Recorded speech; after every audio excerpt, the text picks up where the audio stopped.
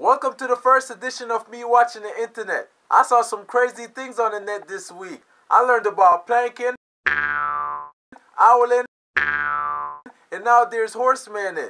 My question is, who comes up with these things? I mean, who was the first person to plank, take a pic, and put it on the net? Who was the first person to see it and say, this is hot, let me try this?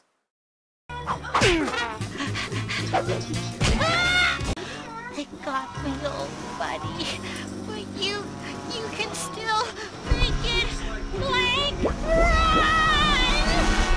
Save yourself.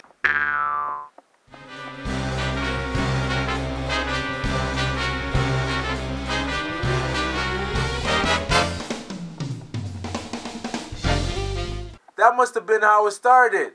Until next time, folks.